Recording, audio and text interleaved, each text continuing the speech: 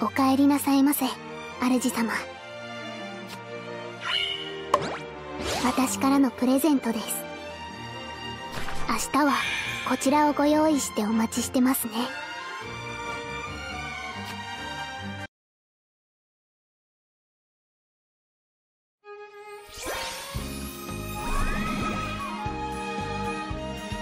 ヘイ諸君。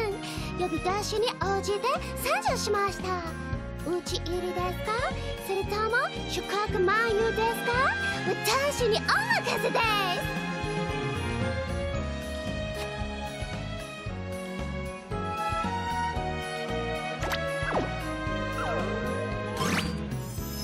まさか誕生日の贈り物ということですか？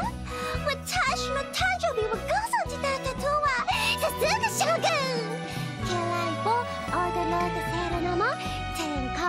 ですねあまっても見なかった贈り物で